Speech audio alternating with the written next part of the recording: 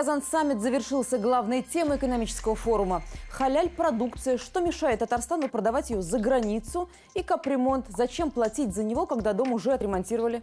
Обо всем подробнее расскажем прямо сейчас. Это новости экономики. Здравствуйте.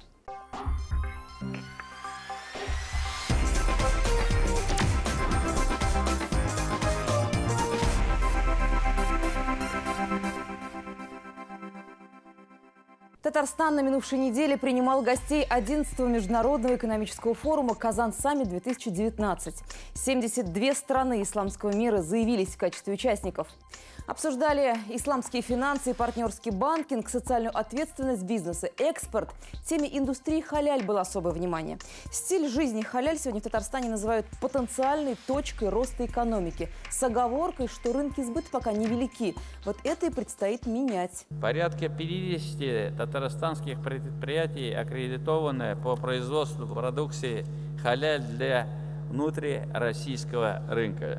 Для выхода на внешний рынок необходимо получить международную сертификацию. Это требует совместной работы с федеральными органами власти. Халяль-экспорт должен стать важной составляющей наших внешних поставок. Пока же в Татарстане свой стандарт продукции халяль, который в республике внедрили еще 10 лет назад.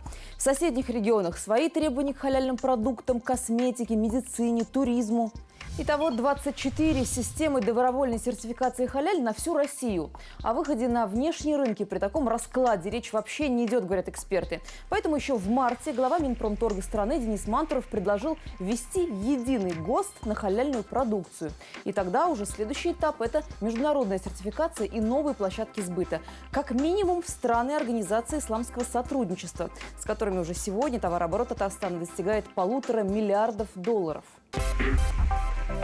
В Татарстане в этом году капитально отремонтируют 936 домов и направят на это почти 6 миллиардов рублей. Причем республика дает на обновление многоэтажек только 1 миллиард. Примерно столько же, 1 миллиард 70 миллионов – это деньги самих городов и районов. А на все остальные 3 миллиарда 700 миллионов сбросились татарстанцы. В платежках на оплату услуг ЖКХ в строке «Капремонт» сумма приходит в среднем около 300-500 рублей с квартиры. Зависят они от квадратных метров. В Татарстане тариф 5 рублей 85 копеек с квадратного метра. В среднем в год набирается со всех татарстанцев 4 миллиарда. Почему мы должны платить каждый месяц, если дом еще даже не стоит в плане капремонта или капремонт только что завершился, эксперты объясняют так. Получается так, то дома, которые попали в программу, они занимают деньги через э, фонд рекоператора у других домов, которые находятся в этом муниципальном образовании. Я подчеркиваю, в пределах муниципального образования. То есть челны не могут занять у Казани деньги, угу. взять казанские деньги. Так же, так Кайбицы не возьмут апастовские деньги. То есть Казань своя свой кошелек, угу.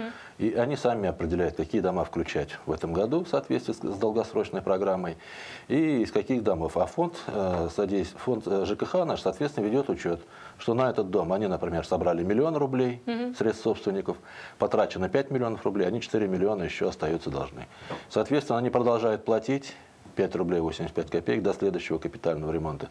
Или в течение скольки лет, в зависимости от э, какой дом, насколько он большой. Чем больше дом, тем быстрее деньги собираются. Но и в то же время на этот большой дом нужно больше денег. Больше денег, конечно. Поэтому те дома, где уже прошел капитальный ремонт, должны обязательно платить, э, собирать взносы на проведение капитального ремонта для того, чтобы обеспечить состоятельность, финансовую устойчивость фонда капитального ремонта, чтобы он мог в дальнейшем ремонтировать те дома, которые войдут в будущем в программу. В общем, платить придется авансом на будущий ремонт или за прошедший. К слову, если работы уже завершены, еще пять лет действует гарантия.